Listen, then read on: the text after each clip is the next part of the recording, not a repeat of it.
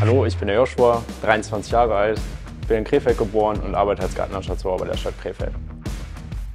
Also ich habe damals ein Praktikum in dem Beruf gemacht und äh, habe dann zuerst was anderes gemacht, aber war in dem Beruf überhaupt nicht zufrieden und dann habe ich mir gedacht, probier es mal.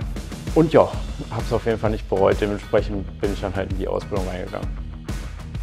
Also es ist halt natürlich, man ist recht viel in öffentlichen Anlagen unterwegs, hat natürlich dann auch mit der Zeit lernt man auch Leute kennen, die dann da täglich spazieren gehen und alles. Das ist natürlich schon ganz schön, dann den Kontakt auch zu den Bürgern zu haben, äh, häufig positives Feedback zu kriegen von denen. Ja, das macht einfach äh, Spaß draußen zu sein und dann da seine Arbeit zu verrichten.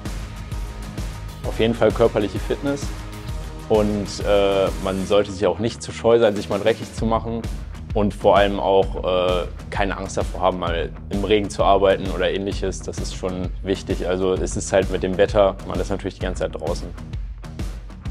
Ja, also anfangs hatte ich natürlich gedacht, dass man nicht allzu viel macht bei der Stadt und sich nicht unbedingt kaputt arbeitet, aber ja, ist dann halt so, wenn man dann mit denen draußen unterwegs ist und denen dann erklärt, was alles gemacht wird und was man da schon gemacht hat, dann sehen die natürlich auch, mittlerweile, was man da alles tut und man selber entwickelt natürlich auch ein weiteres Auge dafür, was gemacht werden muss und äh, kann das dann auch somit auf die Arbeit nehmen, sage ich mal.